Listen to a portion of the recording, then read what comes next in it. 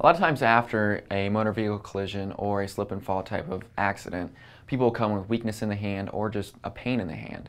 So first off, with a slip and fall, it's really, really common that individuals will fall on an outstretched hand. What they can do there is they can jam the wrist up, they can essentially fracture some of the bones within the wrist and or the bones in the lower arm. So what we would want to do then is we want to take the adequate x-rays, properly diagnose it, and if it is fractured, we would make sure we get them sent over to an orthopedist to get proper treatment for that. In the event that it's not fractured, we work them up with basic chiropractic work as well as physical therapy to really induce the proper healing process and facilitate the proper motion and function of the joints.